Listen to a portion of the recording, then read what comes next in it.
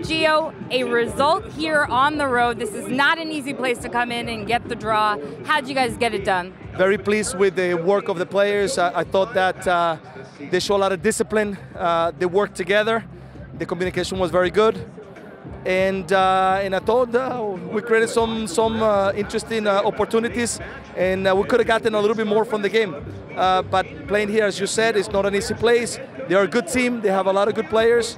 Uh, I'm very, very content with the effort that uh, our team put today. And how important was Sebastian Blanco's equalizer just minutes into the second half for the group's confidence moving in, moving into the rest of the game? Crucial because uh, we knew we were doing things the right way. Unfortunately, they, they found that break to be able to score, and getting back into the game uh, right away and starting the second half gave credibility to the guys that what we're doing is the right thing, and that was very important.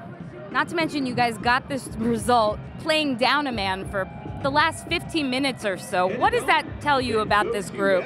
I, I, I highlighted before. I think uh, the, the, the, best part about today is the discipline that everybody's showing on the field, and and uh, and I think that's uh, something very solid to be able to build.